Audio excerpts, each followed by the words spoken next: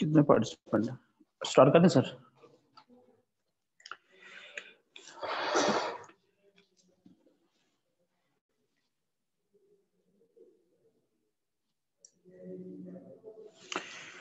बेटा, अस्सलाम वालेकुम कैसे हैं आप लोग? आज बच्चे, हम बुक थर्ड को उसके बाद पढ़ रहे हैं और उसमें से हमने फ़र्स्ट पोर्शन स्टार्ट करना है, मेरे प्ले है वो। पहले मैंने लास्ट लेक्चर में आपको बताया था कि हम मेरे बुक थ्री स्टार्ट करेंगे। उसमें से मेरे प्ले नंबर टू है हमारे पास स्मार्ट सिलेबस में। तो उसको हम डिस्कस करने जा रहे हैं। तो सबसे पहली बात आप दो वर्ड से फेमिलियर हैं। एक वर्ड हमारे पास मेरे प्ले है एंड सेकेंड इज़ ड्रामा तो you must know what is the difference between play and drama आपको ड्रामे और प्ले के अंदर जो मेरे मेरे फ़र्क है, वो आपको सबसे पहले समझ आना चाहिए, क्योंकि हम अब अब प्ले डिस्कस करने जा रहे हैं। तो बेटे प्ले क्या होता है और ड्रामा क्या होता है? इन दोनों के दरमियान फ़र्क क्या होता है? बेटे उसमें ड्रामा जो है ना, वो प्ले की एक फॉर्म है। वेरी सिंपल आपको मैं उस पर समझा रहा हूँ। एक छोटे से दो तीन वर्ड्स ही। हैं प्ले इज़ सीन जो बेटे उसमें खेल होता है, उर्दू में उसके लिए एक वर्ड होता है। जो बेटे प्ले हमारे पास होता है, उसको बेटे परफॉर्म करके स्टेज पे दिखाया जाता है। तो उसकी मेरी परफॉर्मेंस होती है। तो आप सिंपली कह सकते हैं, मेरे play is to be seen जो जो प्ले है, उसको देखा जाता है। और उसमें जो सात वर्ड में ड्रामा है तो असल में drama is in written form लिखी हुई शक्ल में होता है। तो उसके बाद, उसमें drama is to be read उसको पढ़ा जाता है। तो मेरे, जैसे शेक्सपियर ने ड्रामे लिखे थे उसके बाद। तो उसके जो मेरे ड्रामे हैं, जो सिलेबस का हिस्सा होते हैं, जो पढ़े जाते हैं, हम उनको ड्रामास कहते हैं। तो उसके बाद है जी बाकी जो स्टेज पे करके दिखाया जा रहा होता है, जिसकी परफॉर्मेंस होती है, जिसके अंदर डिफरेंट करेक्टर होते हैं डायलॉग होते हैं जिसके अंदर तो उसको हम मेरे प्ले कहते हैं। तो जो हम यहाँ प्ले पढ़ने जा रहे हैं, वो है मेरे विज़िट टू स्मॉल प्लानिट एक छोटे से मेरे सयारे की सैर। तो मेरे, इसको मेरे उस बार में लिखा है, मेरे गोर वैडल मेरे उस प्ले राइट हैं, उन्होंने इसको लिखा है मेरे first of all the introduction of the मेरे प्ले राइट जो ड्रामन बिन निगार है, उसका मेरे इंट्रोडक्शन सबसे पहले डिस्कस करते हैं कि ये मेरे उस कौन था, कहाँ से बिलोंग करता था और किस अंदाज से। ये मेरे कोर वेडल बिलोंग टू यूएसए अमेरिका से इसका ताल्लुक था। मेरे ही वाज बार मेरे थर्ड अक्टूबर 1925 ये मेरे तीन अक्टूबर 1925 को बेटे पैदा हुआ। मेरे वेस्ट पॉइंट मेरे एक जगह है न्यूयॉर्क में यूएसए अमेरिका में। तो मेरे वहाँ पे ये पैदा हुआ। उसके बाद मेरी तालीम इसने वहाँ पे हासिल की और तालीम हासिल करने के बाद इसने मेरे लिखने का काम स्टार्ट किया। तो उसके लिए he was the most extraordinary playwright in USA America के अंदर जो गैर मामूली प्ले राइट हैं ड्रामा निगार हैं, उनमें से इसका नाम आता है he was a journalist he was a बेटे ऐसे writer he was a novelist he was a playwright ये तीन चार क्वालिटीज हैं उसके अंदर कि उसने ये सारे काम किए। With his uh, uh, with first play with which was the source of his fame मेरे पहला ड्रामा जो उसका मेरे प्ले जो उसके लिए शोहरत की मेरी वजह था उसका बेटे उसमें नेम था द बेस्ट मैन उसके बाद ये उन्नीस सौ साठ में लिखा गया था। उसके बाद नेक्स्ट वन था बेटे वीकेंड उसका नाम है जो उसके लिए ऑल ओवर वर्ल्ड शोहरत की वजह बना। वो बेटे वीकेंड था 1968 में वो राइट किया गया। और उसके बाद जो हम प्ले डिस्कस कर रहे हैं विज़िट टू स्मॉल बेटे प्लानिट बेटे जो फ़र्स्ट टाइम इसको टीवी पे दिखाया गया, ये बेटे उसमें ईयर था, उसमें 1956 1956 में ये बेटे गोर वैडल ने ये विज़िट टू स्मॉल प्लानिट एक प्ले लिखा। और उसके बाद इसी को बेटे आप चाहें तो यूट्यूब पे जाएँ इसी का नेम लिखें विज़िट टू स्मॉल प्लानिट और उसके बाद वर्ड लिखेंगे बेटे मूवी तो जब आप मूवी लिखेंगे तो उसके बाद ये पूरा ड्रामा आपको वीडियो की शक्ल में वहाँ मिलेगा। तो एक बेटे पूरी मूवी है। आप इसको वहाँ से देख भी सकते हैं पूरे सेम डायलॉग है। उस, उसके अंदर इसको बेटे कॉमेडी वे से बनाया गया है। बेटे हंसाने वाला अंदाज है इंटरटेनमेंट है इसके अंदर सारी। तो बेटे इस टाइम का ये पहले 1960 में इसमें मूवी बनी। विज़िट स्मॉल प्लांट के नाम से ही है। आप वहाँ से इसको देख सकते हैं। और उसके बाद है जी, इसने एक्स्ट्रा काम किए और बहुत सारे उसके बाद अमेरिकन जो फॉरेन पॉलिसी है, उस पर काफ़ी सारा क्रिटिसिज्म भी इसने किया। उसके हवाले से बहुत कुछ न्यूज़पेपर के अंदर ये वहाँ पे लिखते होते थे। फिर but he was died 31st July 2020 2012 तो उसके बाद इसकी मेरे जो डेथ है 31 जुलाई 2012 को इसकी डेथ हुई थी। हॉलीवुड हिल्स जगह का नाम है और ये कहाँ पे जगह है? लॉस एंजलिस में है और लॉस एंजलिस कौन सी रियासत के अंदर? ये कैलिफ़ोर्निया रियासत है अमेरिका की। तो बेटे ये वहाँ पे ये जगह वाक़ है तो वहाँ पे इसकी डेथ हुई। तो उसके बाद but what is this style of his writing उसके लिखने का अंदाज बेटे कौन सा है? style of um, writing है। लिखने का सादा सा अंदाज। तो उसके बाद जो उसने बड़े करेक्टर क्रिएट करने होते हैं, वो इतने एक्स्ट्रा होते हैं, इतने सिंपल होते हैं। Common man a man of street can understand it very well तो उसको बड़े अच्छे अंदाज से सीख या समझ सकता है। तो उसके बाद है मेरे इस प्ले के अंदर कितने मेरे करेक्टर हैं?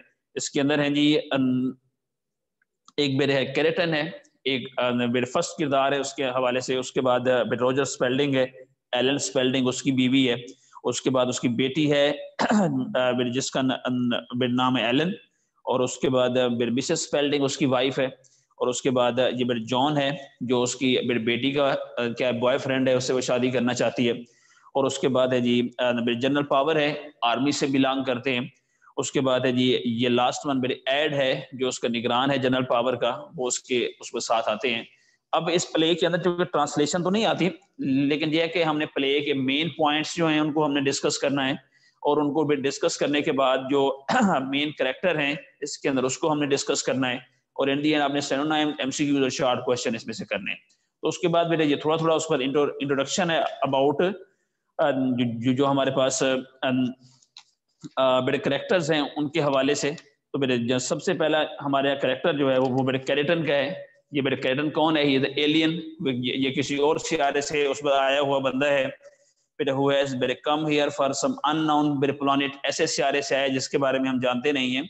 अब उसके बाद है जी he is in his forties and वो अपने फोर्टीज के अंदर यानी उस चालीस साल का, का वो मालूम होता है। विद एंड और is dressed in the fashion of 1860 1860 के फ़ैशन का उसने बेटे उसमें लिबास पहना हुआ है।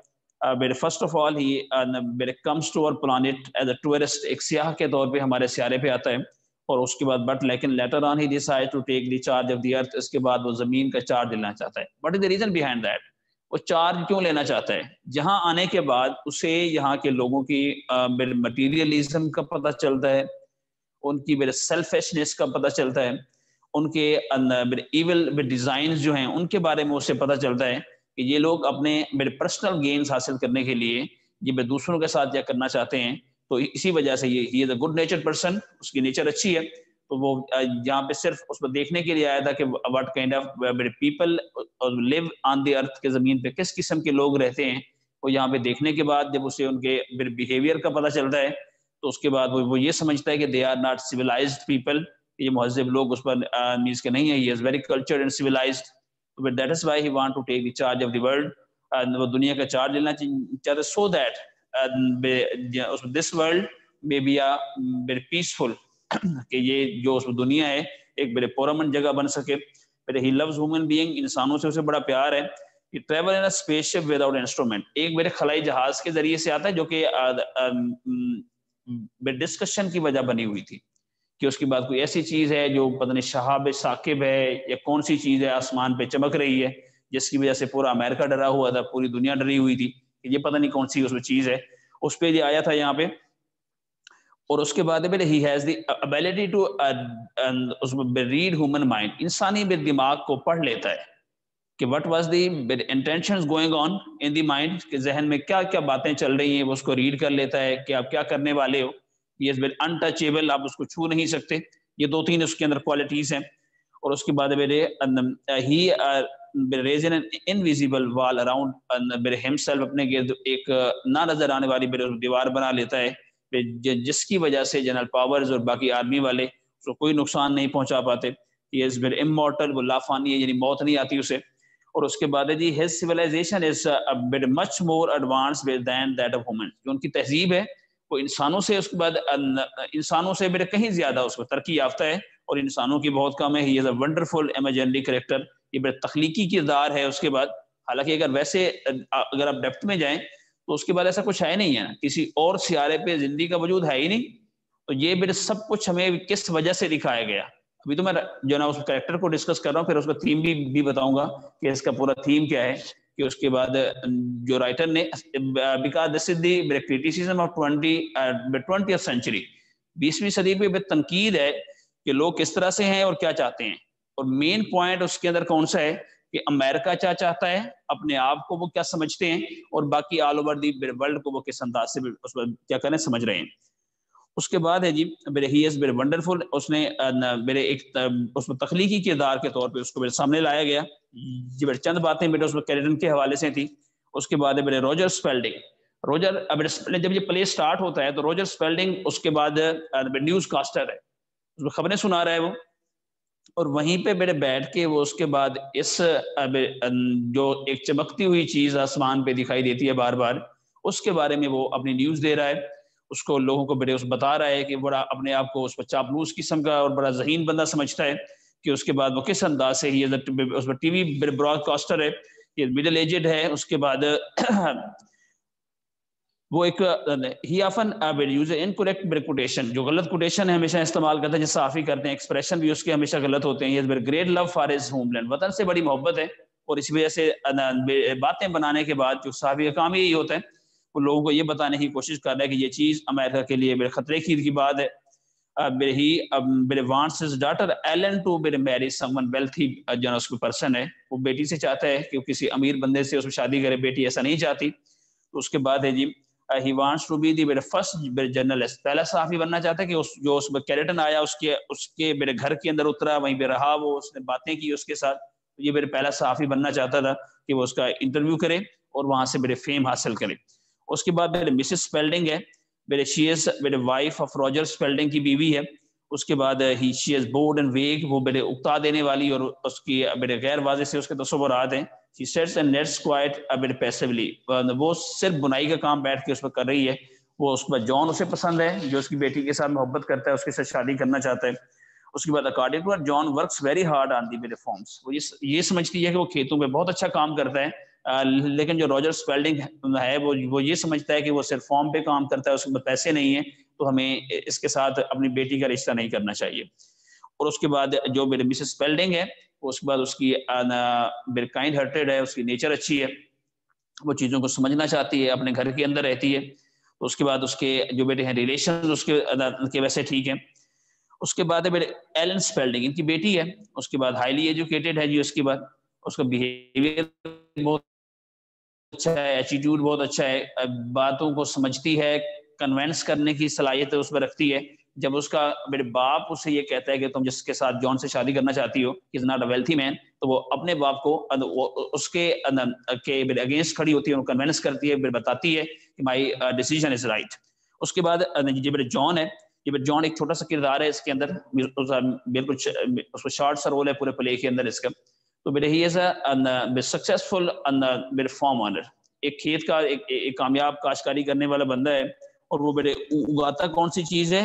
इंग्लिश वेलनेट्स मेरे अंग्रेज़ी वेलनेट्स को वो उस पर मेरे काज करता है और वहाँ से मेरे प्रॉफिट कमाता है।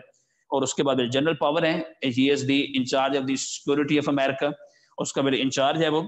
उसके बाद है जी एज मेरे ही इज़ जनरल जैसे कि वो जनरल है लव्स टू एक्सरसाइज अथॉरिटी अपनी जो है ना सुपरियरिटी वो उसको शो करने की ज़्यादा उस पर कोशिश करता है कि उसके बाद मेरे मानी जाए।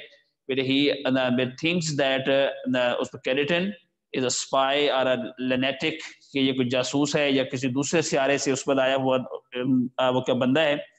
उसके बाद वो उसको नुकसान पहुंचाना चाहता है अरेस्ट करना चाहता है आ, लेकिन उसकी एक्स्ट्रॉर्डी पावर की वजह से वो ऐसा करने के काबिल नहीं हो पाता कि वो उसको अरेस्ट कर ले। और उसके बाद एड उसका निगरान है। तो उसके बाद ये चंद बड़े हैं उस बद किरदार इसके अंदर, जो बड़े इस पूरे प्ले के अंदर अपना रोल प्ले कर रहे थे। और उसके बाद है कि बड़े what is the theme of this मेरे प्ले इस पूरे मेरे प्ले का थीम या मरकजी ख्याल कौन कौन सा है? this play shows that people of 20th century are still in the beginning of their civilization. ये मेरे कैरेक्टर ने प्रूव किया कि you are beginning on the civilization जिस अंदाज से आपके रिलेशन हैं आप जिस, जो ना, जिस अंदाज से बिहेवियर है आपका, जिस अंदाज से चीज़ों के बारे में आप सोचते हैं, ये सारी चीज़ें उस पर ऐसी हैं जो कि मेरे सेल्फ इंटरेस्ट पे मेरे बेस करती हैं, अपने मफादात पे बेस करती हैं। तो आप लोग उस बाद को दूसरों का ख्याल नहीं करने वाले। तो इसी वजह से आपको सिविलाइजेशन का हम इसके क्या कहते हैं, पता ही नहीं है। तो उसके बाद के आप लोग किस तरह के हैं। उसके बाद है जी, अब एज बेर कंपेयर विद दोज अगर इस तहजीब का मवाजना किया जाए ऑफ़ दी प्लान उन सियारों से अदर सोलर सिस्टम जो दूसरे निज़ाम शमसी के अंदर है। हालाँकि बाकी सियारे हैं सारे लेकिन लाइफ पॉसिबल किसी पे भी नहीं है। इमेजनरी करेक्टर तख्लीकी किरदार तख्लीक किया गया था।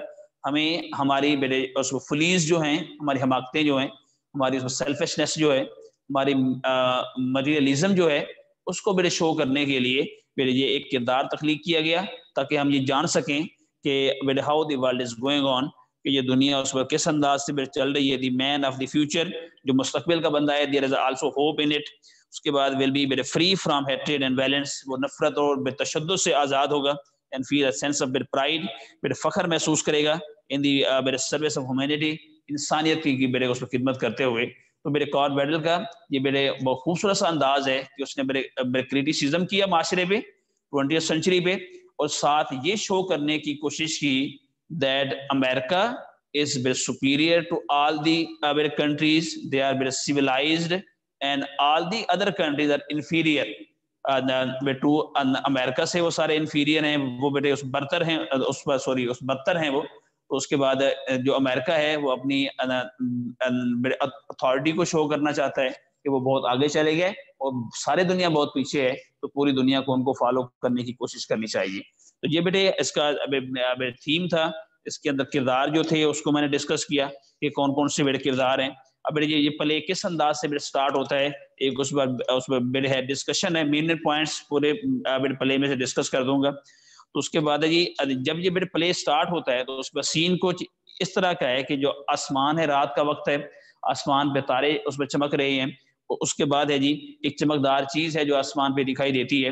और उसके बाद जो मिस्टर बेल्डिंग है, वो अपने घर में ही बैठ के एक टीवी प्रोग्राम को उस पर टेलीकास्ट कर रहे हैं। मेरे मैरीलैंड में उनका मेरे घर है। और उसके बाद है जी, दो उसके असिस्टेंट हैं जो उसके साथ साथ में साथ साथ काम कर रहे हैं।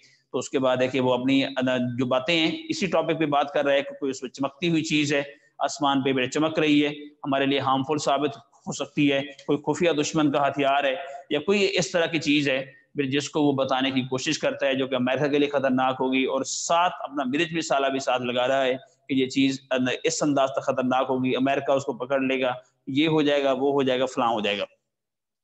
और उसके बाद जब ये सारी स्पीच चल रही है, उसकी अपनी लिविंग रूम यानी बैठक से ये उसमें लाइव टेलीकास्ट जा रहा है, फिर प्रोग्राम खत्म होता है तो उसके बाद अपनी वो बेटी एलन से मुखातिब होता है और उसे कहता है कि जो कि वो उकताहट का शिकार है। अपने अब्बू की बातों के अंदर वो इंटरेस्ट नहीं ले रही, ना उसका प्रोग्राम वो सुन रही है उसमें देख रही है। तो अपनी बेटी से उसके बाद वो शिकवा करते हुए कहता है कि उसके बाद जब मेरी अपनी बेटी ही मेरी बातें नहीं सुनेगी तो बाकी अमेरिका मेरी बातें किस अंदाज से सुनेगा? ये पेज नंबर बेड वन पे दो तीन मेन पॉइंट्स थे।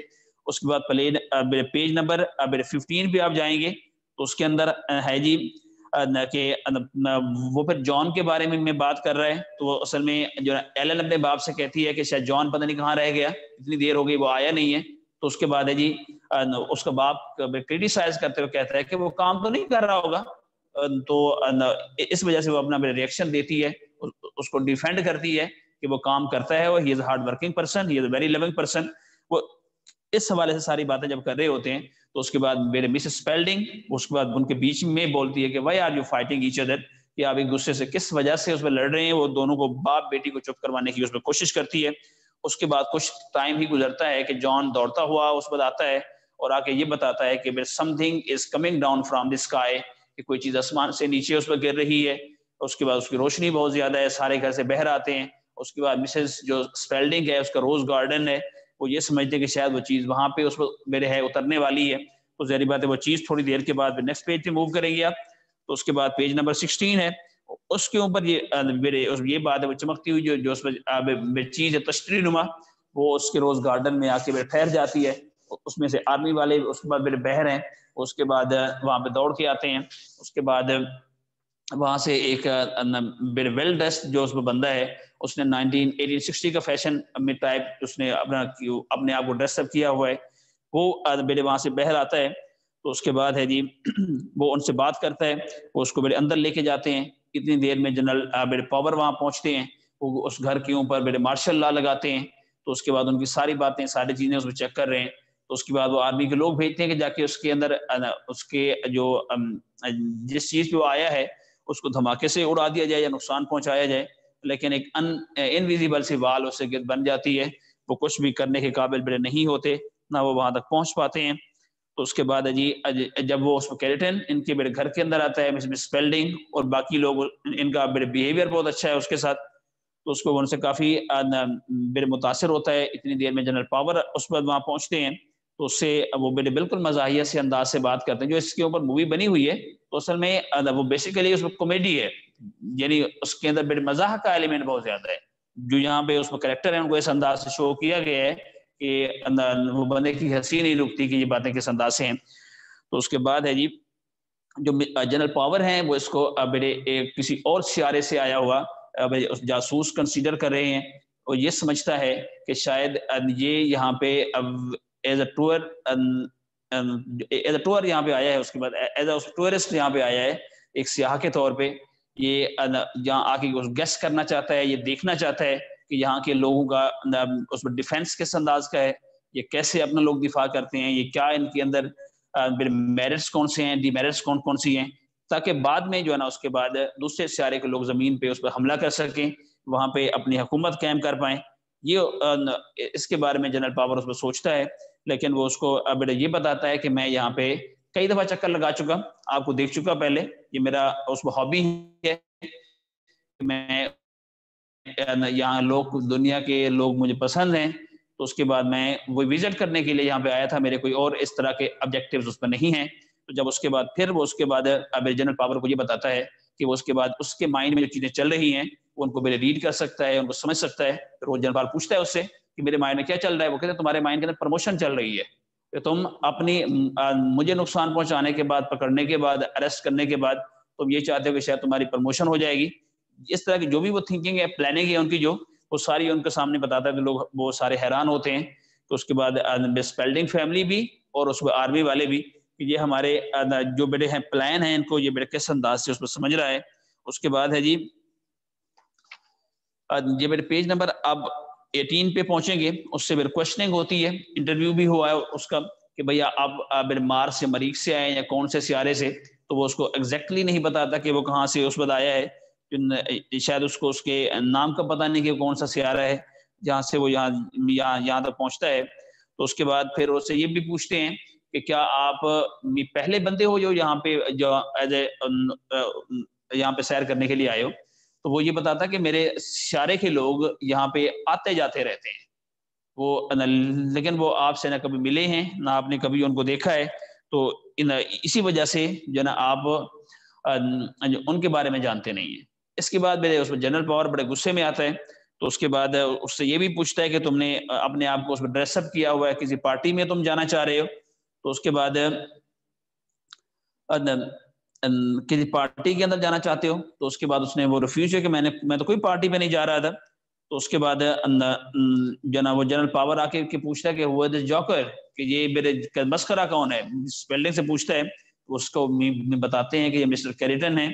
उसके बाद उस पर कैरिटन जो है ना, वो इस, ये बहर खड़ी हुई चीज़ पे आसमान से नीचे उतरे हैं। तो उसके बाद ये ऐसा लगता है किसी और सियारे से उस पर आए हुए हैं। लेकिन जनरल पावर को इस बात पर यकीन उस बात कदर नहीं होता और उसके बाद उसका जो अंदाज है, उसके बाद अथॉरिटी वाला, वो उसको शो करने की बेटे कोशिश करता है।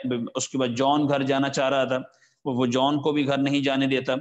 और उसके बाद जो उसके आर्मी वाले हैं तो वो उसके बाद जो होम सेक्रेटरी है, वो उससे बात करना प्रेसिडेंट ऑफ़ यूएस से भी उससे बात करते हैं, उससे बात करवाता है।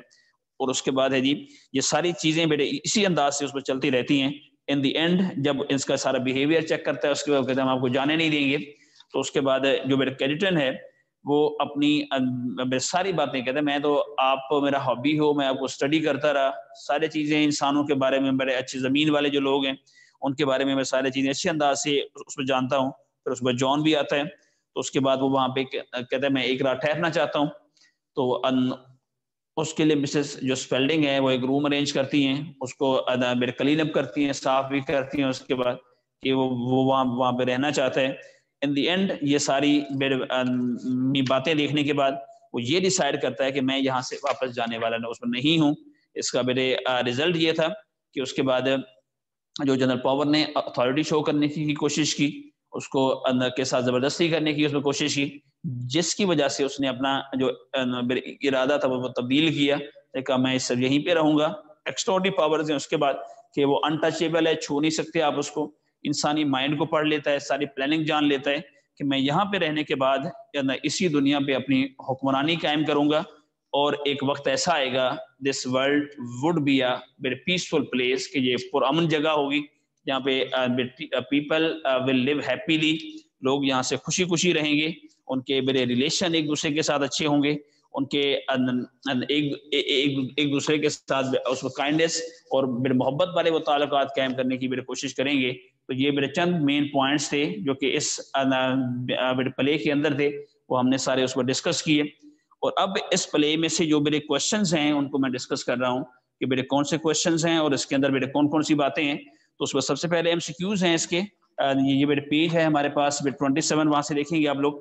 तो उसमें बेटे who is Roger Spelding Roger Spelding बेटे कौन है? ये बेटे उसमें न्यूज़ कास्टर है, ये खबरें सुनाने वाला है। उसके बाद जब करेक्टर मैंने मैंने बताया, इसके अंदर सारी बातें मैंने आपको बता दी, जो यही चीज़ें एमसीक्यूज के अंदर आती हैं। तो बेटे who is Spelding Roger Spelding is news caster ये बेटे उसमें खबरें सुनाने वाला है। और उसके बाद में नेक्स्ट वन है where did spaceship land ये खलाई जहाज़ कहाँ पे, कौन सी जगह पे ये लैंड किया था? ये मिसेस अब स्पेल्डिंग का रोज गार्डन था। ये वहाँ पे आके ठहरा था। उसके बाद मेरे Ellen listen to the broadcast offer मेरे एलन जो है, उसकी बेटी किसकी ब्रॉडकास्ट सुन रही थी? अपने फादर की सुन रही थी। और उसके बाद है जी visitor of dressed in the fashion अब। पहले बता चुका मैं 1860 था। 1860 का फ़ैशन का लिबास उसने पहना था। बेटे what is the impression of Kreton on seeing the inside of the house बेटे घर के अंदर जब आके कैरेटन ने देखा तो उसका रिएक्शन क्या था? वेरी डिलाइटफुल बड़ा खुश हुआ। उसे पूरा घर देख के बहुत अच्छा लगा। आई होप इन्वर्टेड कॉमास में लाइन आई डू होप मुझे लाजमी उम्मीद है आई डोंट साउंड ये बेटे patronising means I am I am not appreciating कि मैं इसकी मेरे कदरदानी नहीं कर रहा। उसके बाद नेक्स्ट वन है बेटे how many years are required to tell the story of travel तो उसे ये पूछा जाता है कि आप उसके बाद ये सफ़र कैसे करके आए, कहाँ कहाँ से आए, वहाँ का वक्त कैसे है, यहाँ का कहते उस वक्त कैसे है? तो कैरेटन बताता है कि इस सारी स्टोरी को सुनाने के लिए आई नीड मेरे फाइव थाउज़ेंड ईयर्स कि मुझे उसके बाद इस सारी मेरे कहानी को उसको सुनाने के लिए मुझे फाइव हंड्रेड ईयर्स चाहिए तो तब जाके मेरी स्टोरी कंप्लीट होगी, ऐसे कंप्लीट होने वाली उस पर नहीं है। और मज़ाक से ये भी कहता है कि जनरल पावर आप भी मर गए होंगे, ये बाकी भी सारे चले गए होंगे, लेकिन मुझे तो मौत, मैं इमोर्टल हूँ, मुझे मौत नहीं आती तो मैं तो ज़िंदा रहूँगा, कहानी सुनाता रहूँगा मैं, आप में से सुनने के लिए कोई नहीं होगा। उसके बाद है जी the house of Spelding comes under the किस चीज़ के अंदर आ गया? मेरे under the martial law General Power ने आके मार्शल लॉ यहाँ पे लगाया, फौजी कानून. General Power was thinking about किस चीज़ के बारे में सोच रहा था? माइंड उसने पढ़ा उसका और उसको साथ जाके ये बताया कि आप अपनी प्रमोशन के बारे में ही सोच रहे थे।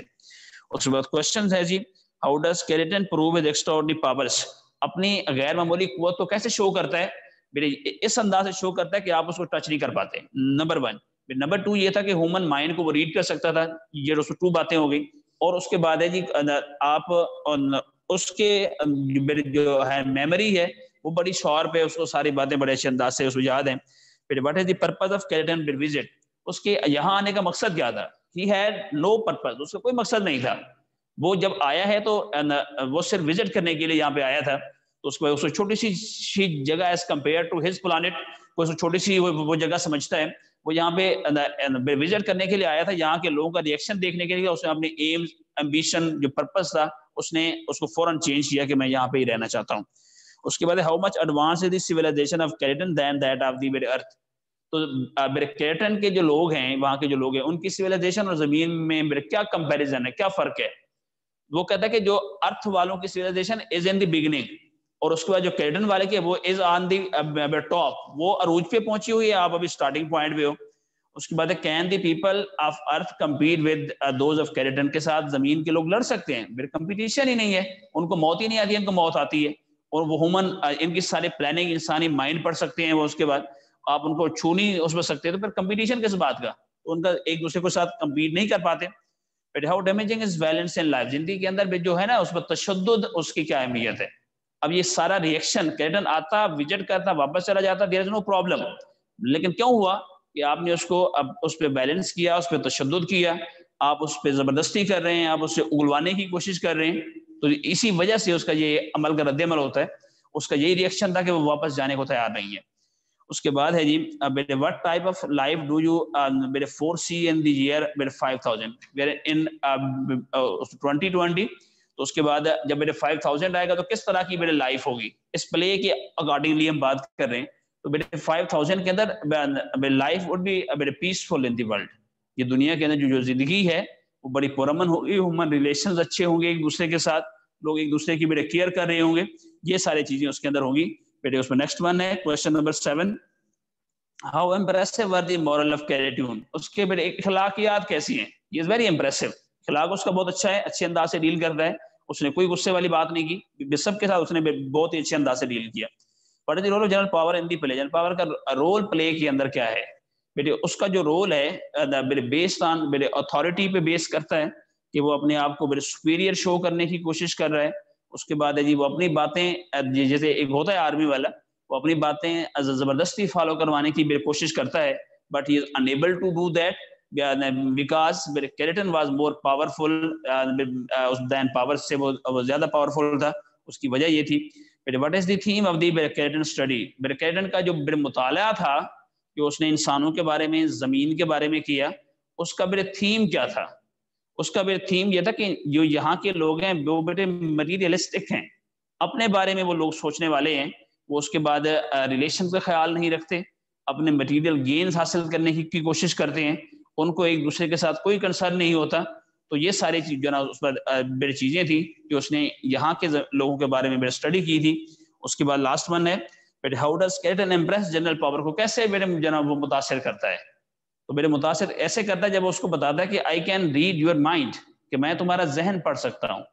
और उससे वो पूछता है कि गिव मी वन एग्ज़ाम्पल कि मुझे आप कोई एक मिसाल दें। वो उसको मेरे जो मिसाल देता है कि what is going on in your mind कि तुम्हारे जहन के अंदर क्या चल रहा है? तो वो पूछता है उसके बाद कि व्हाट इज़ माय पर्पस तो उसे कहता है कि you want to you want to get promotion आप उसके बाद तरक्की हासिल करना चाहते हैं? आर्मी में अपना ओहदा बढ़ाना चाहते हैं? तो आप मुझे पकड़ने के बाद इस तरह की सारी बातें, ये आपका रियल एम है। बाकी आप जो बातें करना चाहें तो उससे वो हैरान होता है कि बाकी उसकी जो भी प्लानिंग है वो ये भी बताता है कि आप मेरा स्पेसशिप जो बैर खड़ा है, उसका आप कहते तबाह करना चाहते हैं, उसको नुकसान पहुंचाएँगे, लेकिन आप ऐसा कर नहीं पाएँगे। वो अपनी पावर भी साथ पे शो करता है। तो ये आपने इसके एम करने हैं सनोनाइम्स करने हैं, फिर शॉर्ट क्वेश्चन है इसके। ये टेन शॉर्ट क्वेश्चन ये आपने साथ करने हैं। तो मेन बातें इसमें मैंने सारी उस पर डिस्कस की हैं। उसके बाद ये आपका जो उस पर नेक्स्ट टेस्ट होगा, इसी प्ले में से होगा। उसमें से आपने एम शॉर्ट क्वेश्चन और सेनोनाइम जो है ना, वो आपने अच्छे अंदाज से बेटे उस पर रीड करने हैं। तो उस पर नेक्स्ट जो लेक्चर होगा तो उसमें से बेटे जो जो है हमारे इस सिलेबस के अंदर जो प्ले नंबर उस पर थ्री है, वो इसके अंदर इंक्लूड है। हम उसको वहाँ जाके उसके बाद हम उसको क्या करेंगे डिस्कस करेंगे बेटा। तो उसको बेटा thank you so much for joining me और उसके बाद इसको आपने बड़े अच्छे अंदाज से करना है अच्छे अंदाज से आपने इस सारे प्ले को तैयार करना है और उसको thank you so much